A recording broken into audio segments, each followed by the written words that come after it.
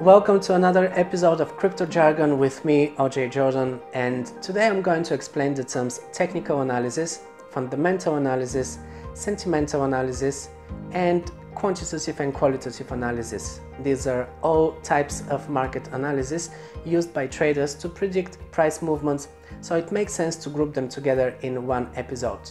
First, let's take a look at TA, technical analysis.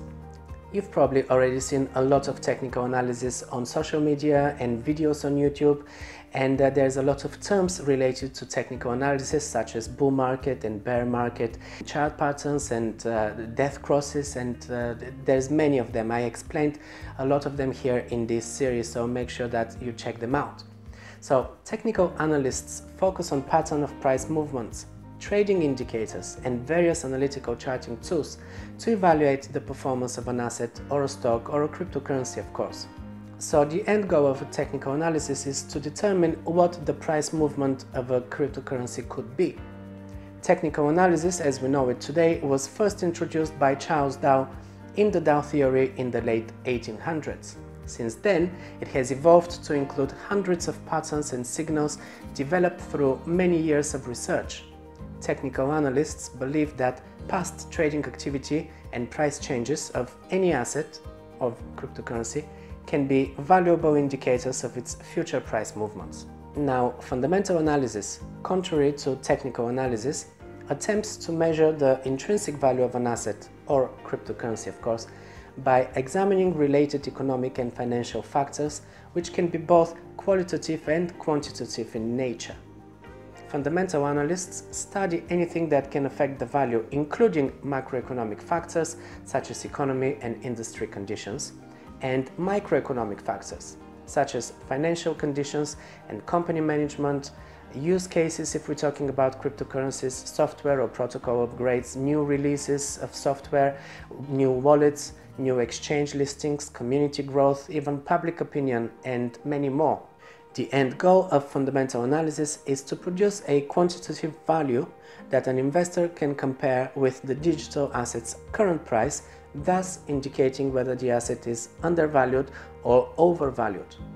The difference between qualitative and quantitative analysis. Well, qualitative uses subjective judgment based on non-quantifiable information such as management expertise, industry cycles, strength of research and development and labor relations, while quantitative analysis contrasts with qualitative in the way that it focuses on numbers found in reports such as balance sheets.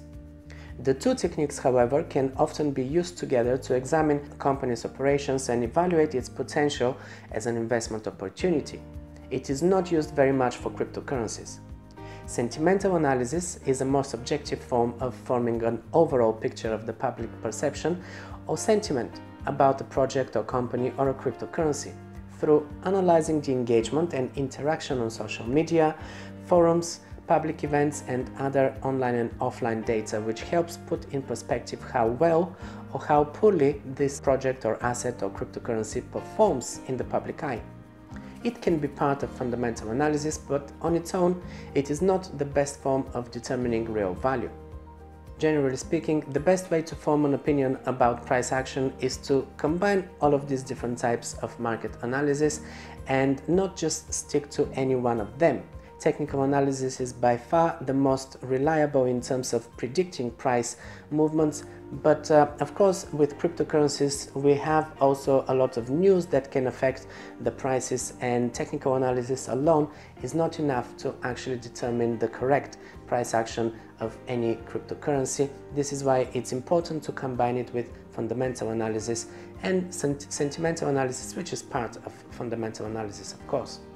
And this concludes today's episode of Crypto Jargon. I hope you liked it. And if it helped you, share it with someone else who might also benefit from watching it. Also, give me a like and leave a comment below so that I can get your feedback. Thanks for watching, guys, and I'm gonna see you in the next episode. Enjoying this content? Go check out Crypto Jargon, the ebook out now on Kindle. It's an Amazon bestseller and it's the most up-to-date crypto dictionary with more than 700 terms, acronyms and trading slang related to cryptocurrencies and blockchain tech. just go to ojjordan.com slash cryptojargon and grab your digital copy today.